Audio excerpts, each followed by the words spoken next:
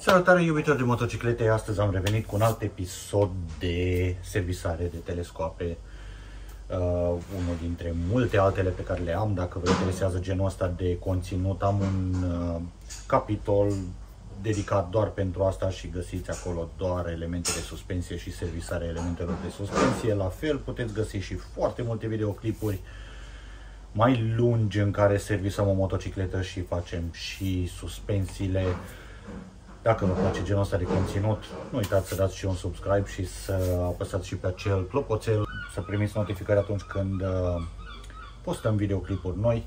De altfel, astăzi ce vom avea? Vom avea un set de furci Showa BFF. Sunt Showa cu cartuș presurizat. Uh, aici avem reglajul la aceste telescoape, aici avem reglajul de de preload, de pretensionare a arcului. Și da, în episodul ăsta vă voi arăta cum se servisează aceste telescoape și ce proceduri trebuie să urmați. Vizionare plăcută!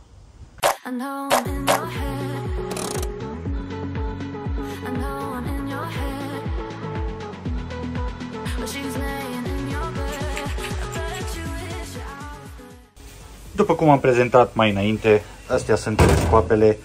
Motivul principal de care noi ne apucăm acum să servisăm aceste telescoape e deoarece acestea au fost înlocuite și nu știm dacă și ăsta a fost înlocuit. Proprietarul nu știe, așa că ne-a rugat să facem noi o servisare, să ne asigurăm că amândouă sunt exact așa cum trebuie să fie, sunt reglate corect și pentru asta ce vom avea nevoie? Vom avea nevoie evident de ulei, Vom avea nevoie de simeringuri de praf și de ulei, niște bande izolatoare, o sculă de bătut de 43 de mm de bătut cu zineții și simeringurile.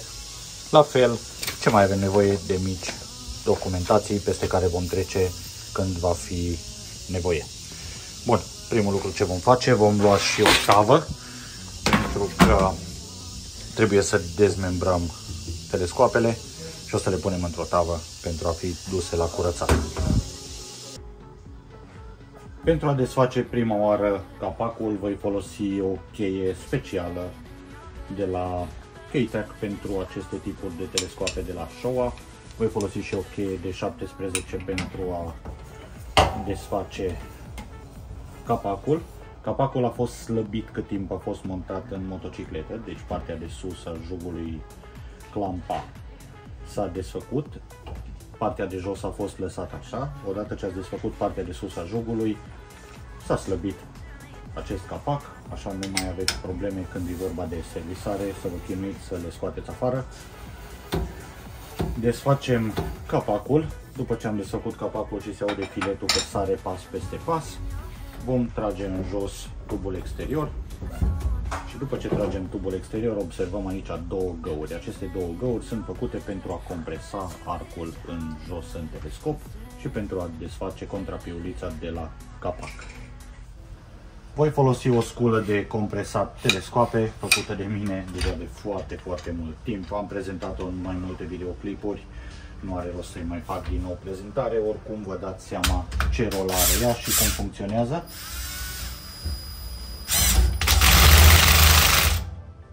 Vom comprima arcul, este foarte important dacă aveți același sistem ca și mine cu șuruburi să nu vă apropiați prea tare de tubul exterior pentru a nu face ceva urme sau marcaje.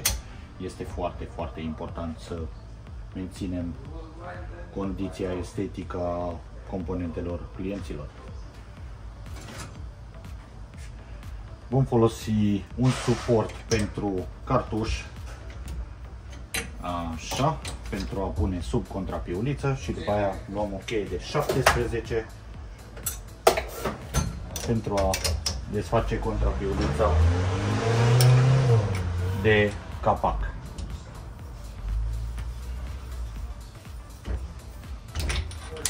Când ajungeți în situații de astea, că desfaceți contrapiulița se așează și aveți nevoie de un pic de forță pentru a desface, nu dați jos direct capacul, ci faceți câteva mișcări pentru a slăbi și contrapiulița. contrapiulița. Acum că putem desface capacul,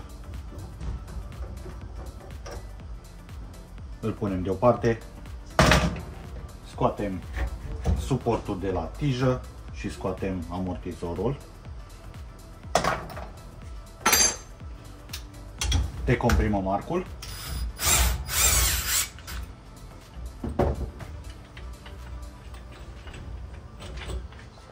Și scoatem tubul distanțier afară din telescop.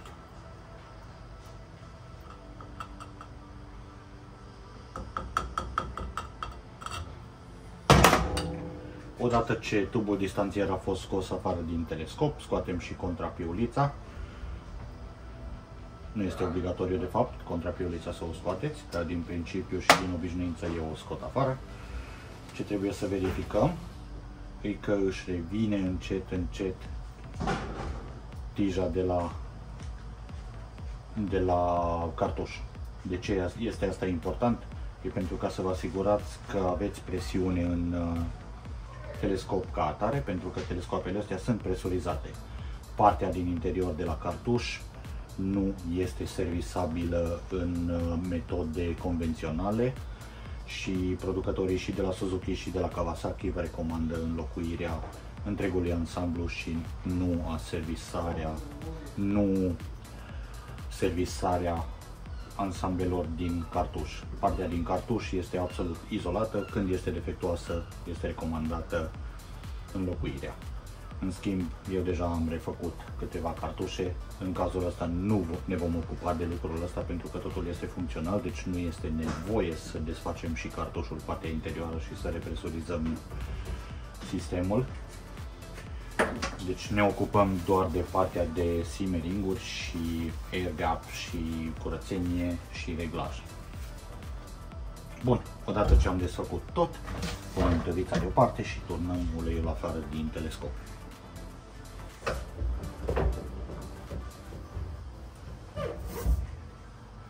Vom turna uleiul afară. Acum urmează să iasă și arcul.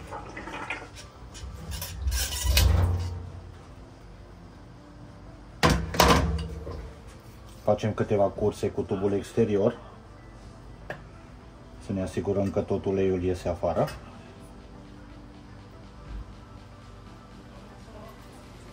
Sau majoritatea uleiului. După care îl montăm înapoi în menghina.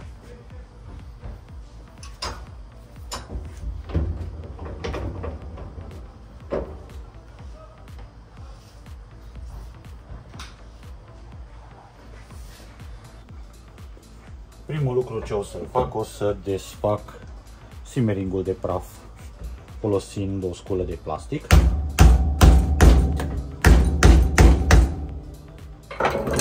După cum se poate observa, simmeringul de praf este destul de crăpat pe toată secțiunea. Deci se poate vedea că nu a fost schimbat deja de foarte mult timp. Deci uh, cine a montat uh, celălalt telescop din cauza că a fost afectat nu a ținut cont de acest lucru și trebuia să se serviseze și acest telescop dacă tot este alt nou. Nu știu de ce nu s-a făcut și nu recomand asemenea practici. De obicei, exact ca și la lanț cu pinioane, întotdeauna trebuie schimbat totul în uh, perechi, să zicem, în ansamble pereche, la fel și la telescoape, când refaceți telescoapele, întotdeauna trebuie să le refaceți pe ambele, niciodată unul singur. Dacă mie îmi vine un potențial client și îmi spune, fă te rog doar telescopul ăsta, am să refuz munca. Pur și simplu am să o refuz. Bun, odată ce am scos simmeringul de praf, vom scoate și siguranța de deasupra simmeringului de ulei. Folosind o sculă pentru a scoate aceste siguranțe, voi scoate siguranța afară, fără să ating tubul cromat, încerc să nu ating tubul cromat și scot afară siguranța de, de deasupra simeringului de ulei. Odată ce am desfăcut și siguranța, noi putem să scoatem tubul cu tot cu cartuș afară și vom da și simeringul de praf jos de pe tub. Asta nu trebuie dezasamblat, se poate dezasambla, dar nu vă recomand și nici de cum să nu desfaceți acest șurub. Este foarte, foarte important. Nu este un șurub de drenaj oarecare, nu este de desfăcut și nu vă atingeți de acest șurub în moment de servisare. Este foarte, foarte important. Acum tubul este pregătit pentru a fi curățat. Vom curăța tubul, dar mai avem încă un lucru de făcut și ăla este să scoatem simeringul afară din telescop, din uh, tubul exterior. Pentru a scoate afară simeringurile din aceste tipuri de telescoape folosesc o sculă originală de Suzuki pe care o bag sub simering, o să mut punctul de sprijin deasupra simeringului pe partea asta și cât timp împing în față, pur și simplu ridic în sus simeringul. Și așa iese simeringul afară, fără să afectați nimic. Dacă nu aveți această sculă, puteți folosi și o șurubelniță, dar puneți o cartelă sau puneți ceva care să protejeze această suprafață. Este foarte, foarte important. Și da, puteți să băgați și o șurubelniță sub simering, dar aveți grijă să nu afectați suprafața asta, să nu o zgâriați. Bun, este afară și simeringul. Scoatem și șaiba, observăm șaiba cu partea plană către simering și e pregătit de dus la curățat. Voi desface și celălalt telescop în același fel și revenim când telescoapele sunt curate. Bun, avem telescoapele curățate și spălate, pregătite pentru asamblare. Deci, ce este foarte, foarte important, partea din interior de la cartuș să nu o desfaceți. Să nu desfaceți acest șurub din partea de jos al cartușului, să nu încercați să desfaceți partea presurizată, asta e compensatorul, și nici să nu desfaceți acest reglaj de la suspensii. Este foarte, foarte important. Partea aia nu este servisabilă nici de cum de persoane care nu au suficient echipament și cunoștințe la cum funcționează acest telescop. Este un cartuș presurizat, uleiul dinăuntru din cartuș nu se contaminează pentru că nu este niciun pasaj de contaminant către acel cartuș. Uleiul ca atare este foarte rezistent pentru o perioadă destul de îndelungată de timp, deci nu veți avea nevoie să schimbați acele uh, acel ulei sau să încercați să servisați. Dacă cumva cedează, producătorul vă recomandă să le servisați. Da, noi am mai făcut, le-am desfăcut și le-am refăcut, dar cu scop de modificare și nu cu scop de servisare. Bun, acum, bineînțeles, condiția telescoapelor este foarte bună, deci nu trebuie să ne facem griji de suprafețe, etc. Vom începe cu procesul de montaj. Primul lucru ce vom face, vom monta simeringurile și vom asambla cele două componente, tubul exterior și tubul interior. Primul lucru ce îl vom face, vom desface pachetul cu simmeringul și putem observa simmeringul de praf și simmeringul de ulei. Seamănă, dar nu se adună. Au roluri separate. Simmeringul de praf protejează simmeringul de ulei de mizerie, etc. Ăsta de ulei reține presiunea aplicată din partea asta. Deci este important ca poziția simmeringului de ulei întotdeauna să fie cu scrisul în jos în configurația asta de telescoape. Bun, primul lucru ce vom face, montăm simmeringul de praf, venim din lateral și îl oferim pe telescop. La acest telescop nu trebuie să folosim bandă izolatoare cum am prezentat că s-ar putea să avem nevoie. Nu este nevoie pentru că noi nu avem cuzinet aici pe partea asta. Iar partea de sus este frumos șanfrenată și fină. Deci nu este necesar cu niște vaselină pentru simeringuri.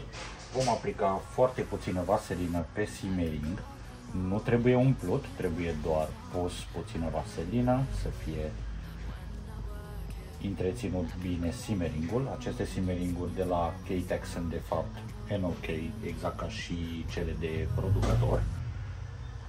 Ăsta îl oferim din nou, venim din lateral, apăsăm puțin, după care putem să tragem în jos simmeringul.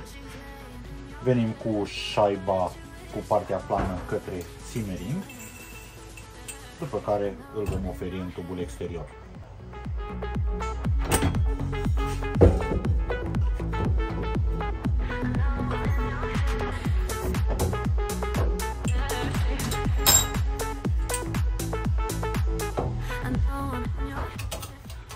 lăsăm șaiba în jos venim cu simeringul.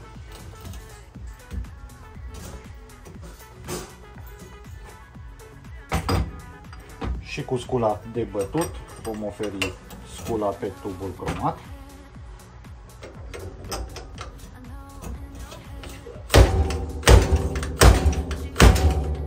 Și batem simeringul până se schimbă sunetul. Vom șterge excesul de vaselină ce l-a lăsat simeringul pe tub. Și venim și cu siguranța de deasupra de la simeringul de ulei și ne asigurăm că face un click și că se așează. După care vom presa simeringul de praf cu mâna. Acum că am terminat cu partea asta, partea cea mai critică din toată operația asta este uleiul. Și hai să mergem un pic către documentație. Am printat afară una dintre cele mai importante lucruri de la documentație și aia este partea cu uleiul. Aici, după cum puteți observa, vă zice să scoateți uleiul afară, după care să băgați, să băgați ulei SS47, care este echivalent 10W, aproximativ 295 de ml. Vă zice de obicei aproximativ pentru că este aproximativ, nu este ceva exact acest nivel, această cantitate de ulei. Este de obicei recomandată și menționată în, în manualele de producător pentru a lucra curat, să nu faceți nici exces, pentru a vă planifica cât material aveți nevoie, la fel și pentru a putea da eventual un preț unui client pentru că știți cât ulei trebuie să folosiți. După care, ce mai trebuie să mai ziceți, să, să mișcați tubul exterior în sus și în jos pentru a vă asigura că uleiul intră între cele două tuburi și alimentează cuzineții și simeringurile. Voi dacă treceți cu uleiul peste acest nivel, este foarte important să treceți peste acest nivel cu uleiul când uh, umpleți tuburile pentru ca uleiul dinăuntru să intre către tubul exterior și să alimenteze cuzineții de aici și de aici care sunt montați în tubul exterior. După care, ce mai trebuie să facem? Este să ne asigurăm că facem o anumită distanță, distanța de aer. Practic este o pernă de aer, este un, un arc progresiv care ține și uleiul sub presiune și, îl, și previne cavitația. În moment ce previne cavitația automat sau aerarea, atunci automat nu mai trebuie să, nu prea pierdem controlul la fluid, pentru că dacă avem aer în, într-un sistem de control al fluidelor, controlul fluidel, fluidului ăla va fi compromis. Și ăsta mai joacă și un rol de pernă de aer la o compresie maximă. Deci în cazuri, în situații în care voi compresați telescopul la maxim, automat perna aia de aer își intră în rol și este un arc progresiv dar aici vă dă o dimensiune exactă. Deci asta este dimensiunea standard pentru acest tip de motocicletă Kawasaki ZX, ZX10R KRT din 2017 și este de 160 de mm de la partea asta până la ulei cu partea de la tijă apăsată în jos. Aici nu știu ce să zic pentru că partea de la tijă nu influențează volumul fluidului Uh, deci chiar dacă e ieșit sau e intrat, fluidul din cartuș este complet separat. Nu știu de ce menționează acest lucru, dar îl vom face în același fel, cum recomandă ei, pentru că este în general mai bine să folosiți uh, recomandările producătorilor și nu doar prezumții, să zicem. Ok, așa că hai să facem acest lucru. Vom turna ulei în telescop vom trece peste acele găuri care sunt aici, să ne asigurăm că uleiul trece peste partea asta altă, între cele două tuburi și după aia vom face și nivelul la ulei. Când turnați uleiul, întotdeauna încercați să turnați către tija de la telescop pentru că nu creați bule de aer etc. în, în ulei. Și În general, oricum, uleiul de la telescoape se așează foarte repede, deci dacă există ceva bule, ies foarte repede afară. Și chiar dacă nu, mici bulițe nu vor face așa mare diferență când e vorba de nivel. Deci dacă sunt câteva mici bulițe de aer, nu o să vă afecteze nivelul de ulei așa de drastic. În general, aproape deloc. Așa, bun, acum că am umplut, suntem cu uleiul cam până pe la nivelul ăsta. Facem câteva mișcări scurte ca să ne asigurăm că intră uleiul frumos între cele două tuburi.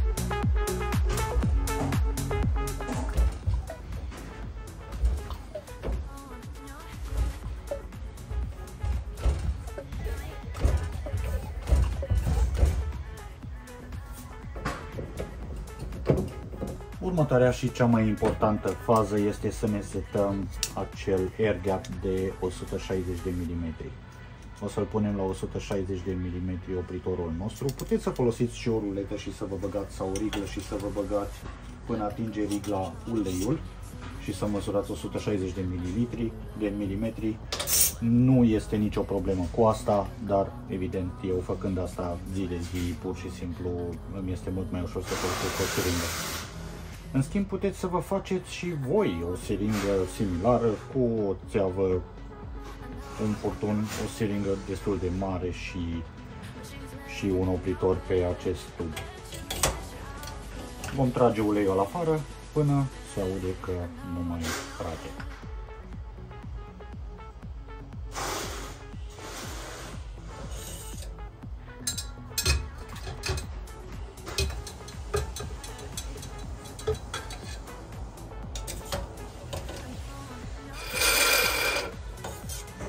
S-a auzit că am tras tot uleiul în exces. Avem dimensiunea setată de producător de 160 de mm. Venim cu arcul. Arcul este liniar, nu contează poziția lui. Îl așezăm. De fapt, am făcut o mică greșeală. Hai să punem înapoi ulei.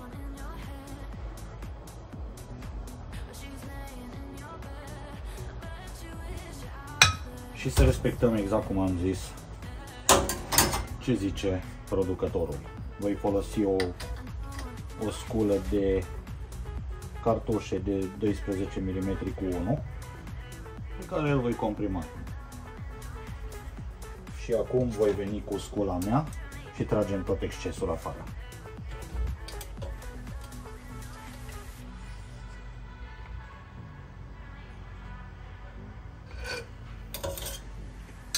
Cred că au făcut diferență, dar totuși am făcut exact așa cum mi-a zis producătorul și n-am cum să dau greș. Bun. Acum urmează arcul, exact cum am zis. Este un arc liniar, nu contează poziția lui. Dacă este cumva marcat, în general îl punem pe partea de sus. Venim cu tija distanțier cu partea de plastic către arc.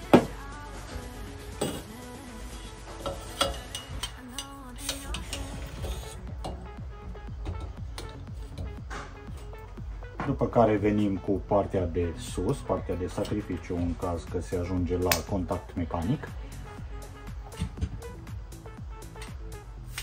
și comprimăm arcul pentru a oferi capacul înapoi pe telescop.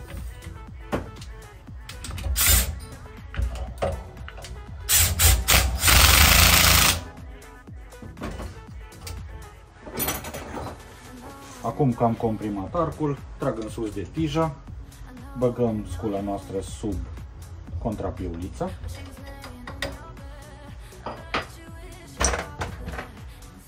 Vom pune o-ringul pe capac.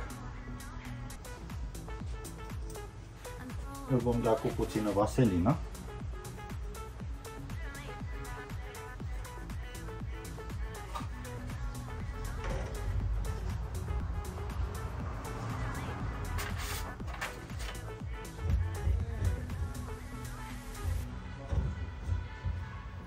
Îl înfiletăm până se așează.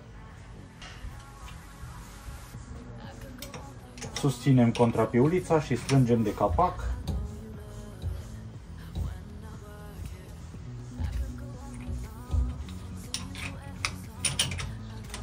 Strângem contra piulița să nu se desfacă.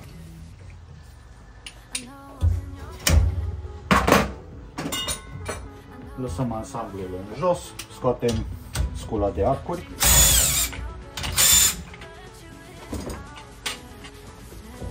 Ridicăm tubul exterior în sus.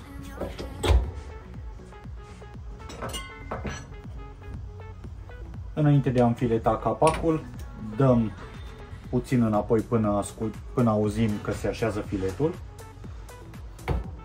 Acum s-a auzit și acum putem avansa cu înfiletarea capacului. Odată ce este totul strâns, telescopul vostru este gata. Cam atât cu acest mic tutorial. Nu sunt uh, telescoape grele de servisat. Sunt telescoape foarte ușor de servisat și exact cum v-am prezentat acum, nu durează mult timp. Nu știu de ce ar trebui să le lase lumea și să nu le serviseze în timp. Neservisând telescoapele în timp, pot să ducă la situații când vă costă destul de mult, așa că nu m-aș juca cu acest lucru.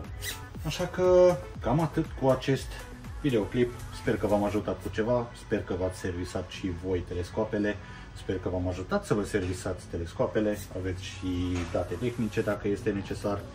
Ce este foarte important la montaj, când le puneți înapoi, le băgați în jugul inferior și cel superior, strângeți jugurile, montați axul roții, strângeți axul roții, montați etrierele, evident și aripa, după ce ați asamblat tot, dați motocicleta jos de pe dispozitivul de suport ce l-ați folosit pentru a ridica, pentru a eleva partea din fața motocicletei.